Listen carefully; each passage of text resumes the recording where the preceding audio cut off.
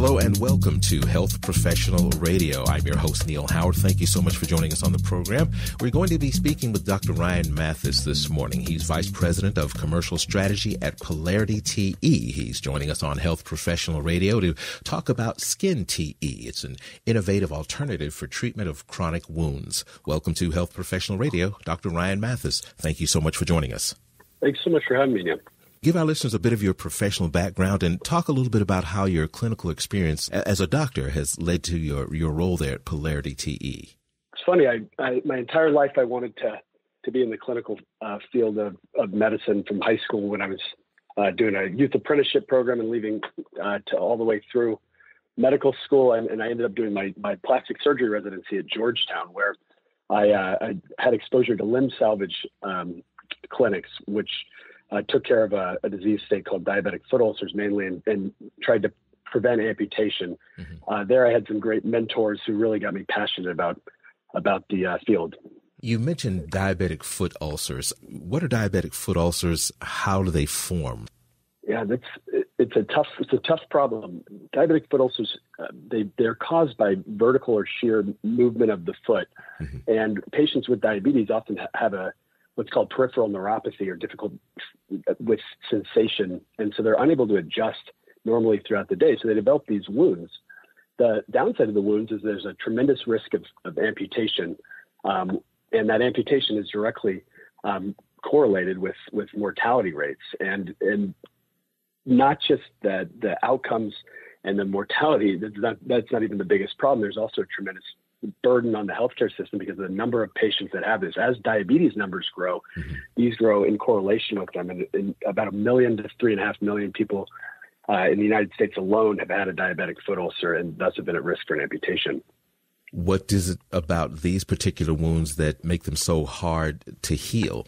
Yeah, that's a good that's a good question. With with um, diabetes comes a whole a whole slew of really uh, difficult comorbid issues. One of the main ones in diabetic foot ulcers is um, the inability to get good blood flow down to mm-hmm. those ulcers themselves. Mm-hmm. Um, because blood flow can't come in, about 17 of these wounds end up getting infected, um, which makes them incredibly difficult to heal and, and extends their hospital course and also extends the, the amount of time that it takes to get these wounds to heal. Um, so currently about uh, an amputation's occurring about every 20 seconds in the world, and these ulcers are occurring every 1.2 seconds because so many of these become infected and so many of these recur. So, are we talking about if they were just given the ability to heal, or are we talking about better treatment for a chronic condition? Yeah, that's that's that's a tough question. You know, ideally, it's it's a two pronged approach when when treating these. So you want to optimize everything you can. With with diabetes, that peripheral blood flow um, can you know you can you can do vascular procedures to improve that, and oftentimes it's in that's in conjunction. But we still need better treatments at the wound themselves. Mm-hmm. Current treatment um, methods are are are mostly allogeneic, uh, meaning from a another individual and are focused on improving the wound environment and getting the wound to contract in through through scarring. And that may be the reason that, that recurrence rates are, are 40% at a year and 90% at 10 years is you're healing with non-native tissue. With um, with Skin TE, what we're, what we're working to develop is an autologous product, meaning it's from that patient itself. And, and rather than just improving the wound environment, we're putting uh, back essentially micro cellular segments or segments of, of their own skin mm-hmm. with cells that, that have been activated that allow this wound to kind of heal from the inside out in addition to the outside in. Uh, that that gives them a leg up on healing, um, and it, you know we're hoping that it gives them a leg up in healing. And as we move through uh, clinical trials and progress uh, progress uh, through the FDA and, and, and, in communication with the FDA, we're excited uh, with uh, what's on the horizon. Now, is Skin TE going to be applied as a as an adhesive, as a covering? Is it in a gel that's like um, put inside the wound, as you said, healing from the inside out? How exactly is it going to be administered? Yeah, the the product itself once it once a small uh, piece of skin is taken from the patient, say on a Monday, It's overnighted to Salt Lake City, where it's processed into these these uh, microcellular segments, and that is then combined back with the native tissue to form a paste-like mm-hmm. solution. Um, that paste is is received back by the physician on a Wednesday, so it's a 48-hour turnaround. The the patient would go in on a Monday, come back that Wednesday. They, the paste would be applied sort of like icing on a cake over the wound itself. Um, it gets dressed with dressings currently used in standard of care. Um, and over the course of, of time, the, the patient uh, the patient's wound, these micrografts give give this wound with poor vascular flow you know, potentially the ability to have an optimized graft for for engraftment, meaning that graft can grow in the middle of the wound um, rather than just allowing the outsides to heal in. Much better than a synthetic application that attempts to do the same thing. We're hoping to uh, show in our clinical trials that, that there's an improvement not just in the ability to heal these wounds, and usually the landmark in this in this space is, is at the 12 week mark. Um, with our randomized controlled trial, we we had 70% healing versus versus 30 around 30% healing in the standard of care um, on an 100 patient series in Wagner 1 diabetic foot ulcers.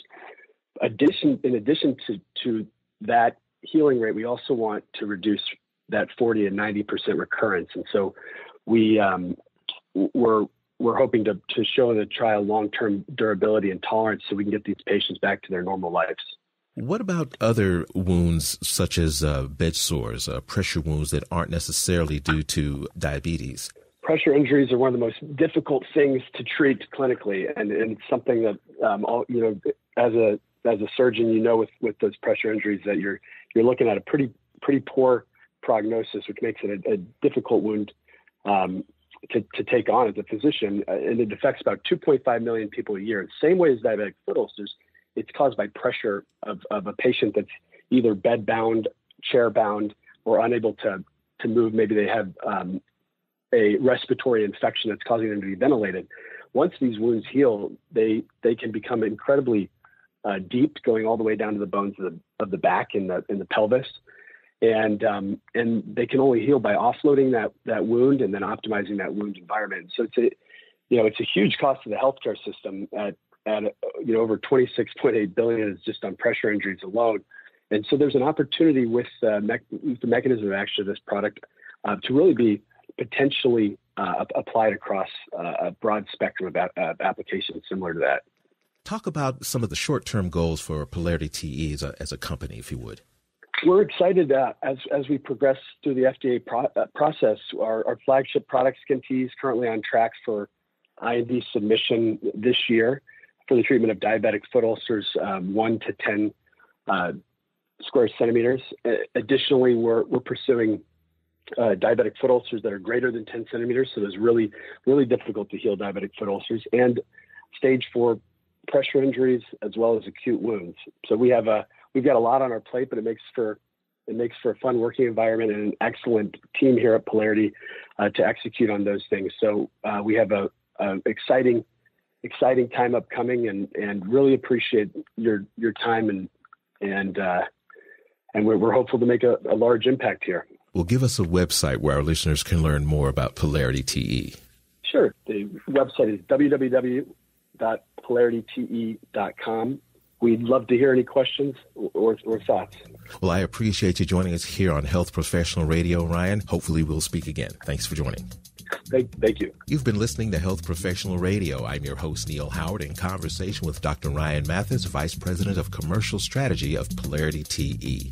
Audio copies of this program are available at hpr.fm and healthprofessionalradio.com.au. You can also subscribe to the podcast on iTunes, listen in, download it SoundCloud, and be sure and subscribe to our YouTube channel at youtube.com Health Professional Radio.